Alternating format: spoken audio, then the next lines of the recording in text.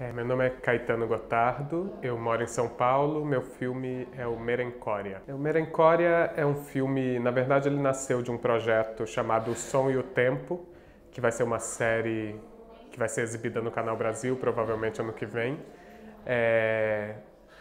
mas que cada episódio da série, na verdade, é um curta totalmente independente um do outro, o que liga todos todos esses curtas é, é que cada um desses curtas tinha que partir de uma canção brasileira de alguma década específica entre os anos 30 e os anos 2000.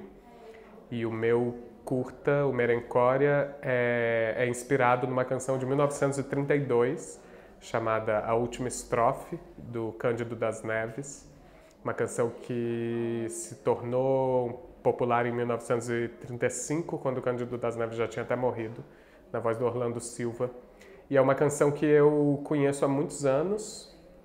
Era uma das canções preferidas do meu avô. O curta não é uma, uma recriação narrativa do que a canção narra, mas ele tenta capturar um pouco das, das sensações que, que a canção carrega, que tem a ver com um, um fim de amor um seresteiro, a canção fala de um seresteiro que está cantando sobre o fim de um amor e alguém que ouve esse, esse seresteiro e se identifica e diz: Minha história é igual à tua, meu amor também fugiu.